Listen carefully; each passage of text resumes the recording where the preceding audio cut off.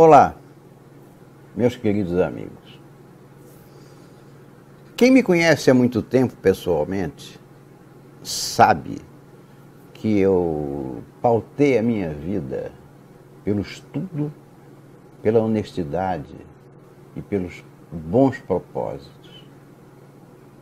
Muitos de vocês são meus amigos virtuais, acompanharam o desenvolvimento do meu trabalho na internet e puderam constatar que eu transferi aquilo que eu acho que são qualidades pessoais, como a verdade, a honestidade, para vocês. Vocês devem ter notado também que todo o meu trabalho da, na internet, desde que começou, tem uma sequência, uma sequência lógica que nos trouxe até esse momento. Eu comecei pela zona de retaguarda, depois fui para a geopolítica pós-zona de retaguarda, que eu expressei no curso 1, e depois eu passei ao PUB, ao Projeto União do Bem, que preparou a população, ou pelo menos eu pretendia que preparasse a população, para vencer a esquerda nas urnas o que efetivamente foi concretizado.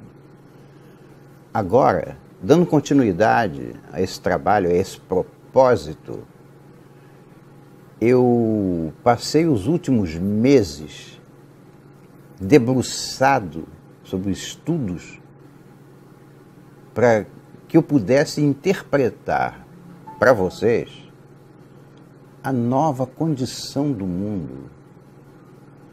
E eu pude resumir isso num curso que eu chamei O Mundo de Hoje e Amanhã, que nada mais é do que uma, uma atualização geopolítica, para que a gente entenda o mundo como ele está hoje, depois que nós ganhamos e, e estamos ganhando muita, muito do mundo ocidental, para que preparando vocês a entender o que essa vitória significa para a geopolítica de hoje principalmente e muito principalmente na de amanhã. Portanto, eu convido vocês a assistir esse curso 2, porque é a, a continuação, é o coroamento de todo esse trabalho que eu venho desenvolvendo ao longo do tempo. Provavelmente no futuro eu vou ter que fazer um curso 3, um curso 4, não sei. Porque a geopolítica é muito dinâmica. Mas as coisas que eu estudei e as conclusões que eu tirei sobre o que está acontecendo no mundo hoje e que vai acontecer amanhã, seguramente também para vocês vai ser uma surpresa. Eu espero vocês lá.